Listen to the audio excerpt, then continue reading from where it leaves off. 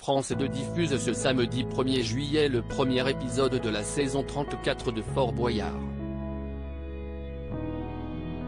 Robert Pierre, Paul de Saint-Cernin, Anne Silla et Johan Huget participent pour la première fois au jeu, tout comme 21 autres personnalités cette année.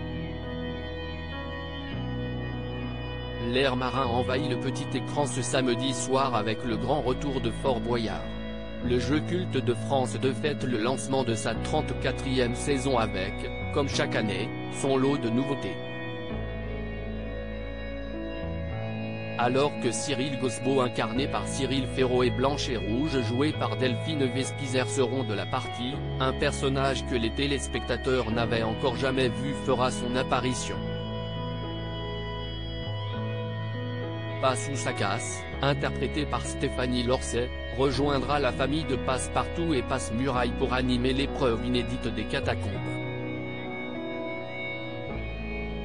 De nouvelles cellules tenteront également de déstabiliser les personnalités, telles que le flippé, les planches de pirates et l'horlogerie. Fort Boyard, Anne Silla et Robert Pires inaugurent la saison 2023. Lors de cette édition, le père Foura a rivalisé d'imagination pour tendre des pièges aux candidats. Comme l'année dernier, chaque soirée sera thématisée dans le but de réserver des surprises aux téléspectateurs. Ainsi, au fil de la saison, une taupe va se glisser dans l'équipe pour faire perdre ses coéquipiers, des personnages cultes comme la bohémienne et Ratman vont faire leur retour, et deux équipes de quatre célébrités vont s'affronter au sein du fort. Dans l'épisode inaugural proposé ce samedi 1er juillet, des cadeaux empoisonnés seront à éviter par les personnalités. Parmi elles, le footballeur Robert Pires, l'humoriste Paul de Saint-Cernin, la chanteuse Anne Silla et le rugbyman Johan Huget font leur baptême du feu dans l'émission. Et ce ne sont pas les seuls à fouler les pierres de l'édifice pour la première fois cette année. Jimmy Mohamed, Clarisse Agbenienou, Yanis Marshall. Qui participent pour la première fois à Fort Boyard en 2023.